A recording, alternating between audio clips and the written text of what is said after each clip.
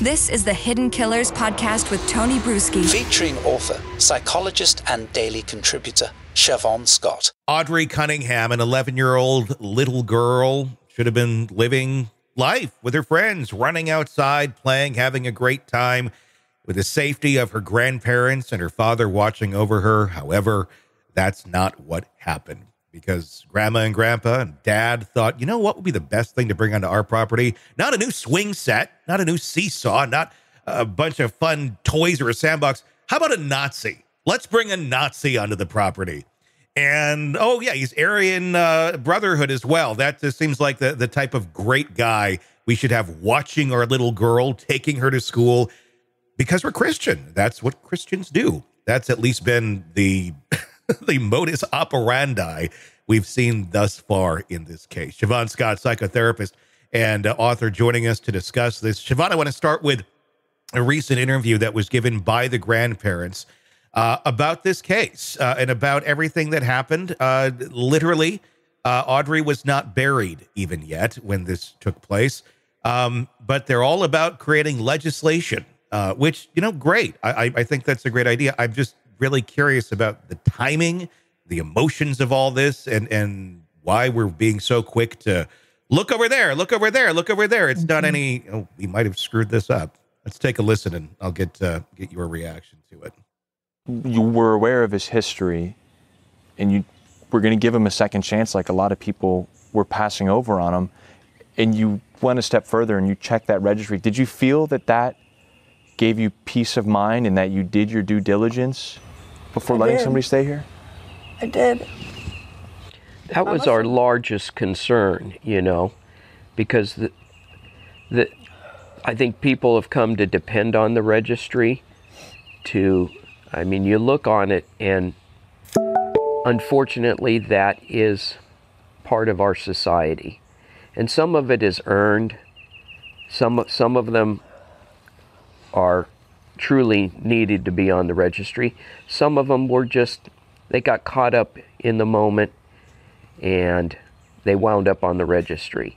So there is gray areas in the registry, but then there's a big dark hole where people who committed a sexual assault wound up plea bargaining down to a misdemeanor and because it's only a misdemeanor, they didn't have to register.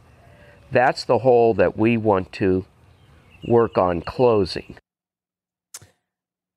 The floor is yours. wow. Wow. wow. Yeah. Talk about um, failing to take responsibility for some abysmal judgment on their part.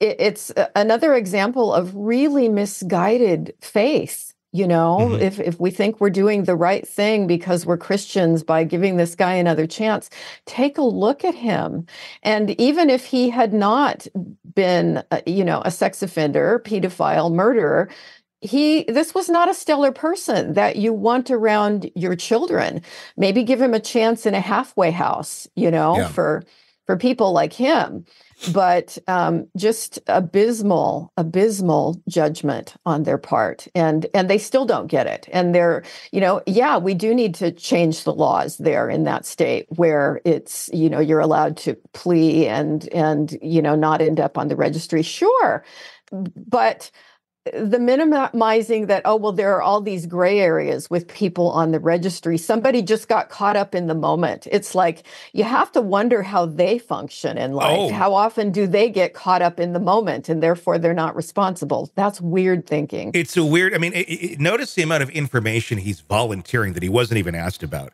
Nobody said well, what do you think about the the sex offender registry and the different uh, people that are on there? Uh, you know, different. He's he's literally justifying rape because yes. somebody was caught up in the moment. Caught up in the moment. Like, yeah. Who does yeah. that other than a rapist? Yeah. You know, and exactly. I'm, I'm not calling him a rapist, but who else does that? yeah, you wonder about the thinking process going on in there. Yeah, yeah it's it's really strange, really concerning, and that poor child just didn't have a chance. What was your observation on the setup as well. If people are listening to us, they're not seeing this. If you watch it on YouTube, you can see what we're talking about on our YouTube channel. Uh, but it was like it was a whole set. Like they had their t-shirts on, they had their uniforms basically with Audrii's picture and wings. And then behind, and it was color coordinated too. Purple was the color, by the way. Uh, and then in in the background, there's literally all of these pictures of Audrii up. I mean, I've seen a lot of interviews of grieving families and such, and and they don't usually necessarily have a set that they built to to make their argument or or to to express their emotions here. Eh, that that seemed a little off as well. Yeah, it looked like staging. Mhm. And and that has a very bizarre quality because again, we put ourselves in in this kind of situation. We would be so distraught. That would be the last thing. Or oh, we're going to wear our matching t-shirts. You know, it's Yeah. it's indicative of a very strange thinking pattern going on with these folks.